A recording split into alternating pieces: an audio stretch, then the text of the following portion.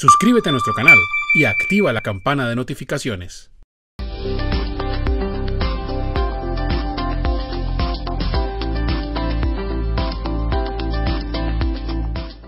Las personas naturales que llevan contabilidad pueden utilizar el beneficio del ingreso no grabado por componente inflacionario. Ok, los artículos 38 a 41 del Estatuto Tributario fueron revividos con el artículo 160 de la Ley 10 del 2019.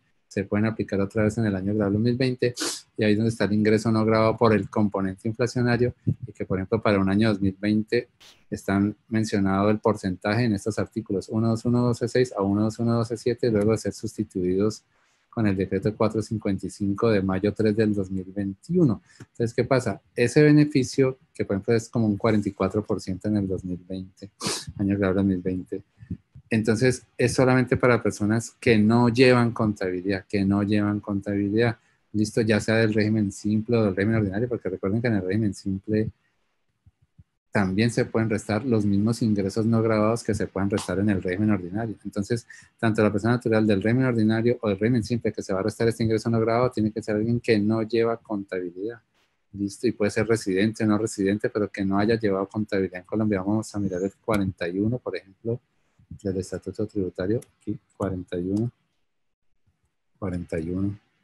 Se me pasó. Entonces, aquí en el anterior buscamos el 41, componente inflacionario de los rendimientos financieros.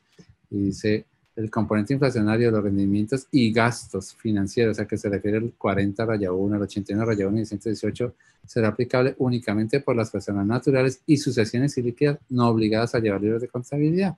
Los intereses, los ajustes por diferencia en cambio, así como los demás gastos financieros en los cuales se incurra para la adquisición o construcción de activos, constituirán mayor valor del activo hasta cuando haya el proceso de puesta en marcha. Pero entonces lo que nos importa acá es que el beneficio del ingreso no grabado por componente inflacionario y el límite que se pone acá a los gastos por intereses, porque a los gastos por intereses también hay que rechazarles una parte como no deducible por el componente inflacionario.